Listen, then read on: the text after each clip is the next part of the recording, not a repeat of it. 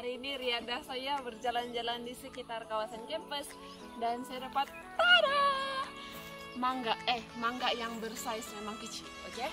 so kepada kamu orang di luar sana yang tengok video ini kalau kamu mau tanya pasal Merike cepat-cepat PM saya. Sebab Merike sangat bagus. Apa yang bagus dia? Kalau kamu mau tengok kebaikan kamu cepat-cepat PM saya ah. Nanti saya akan ajar kamu dari S sampai Z.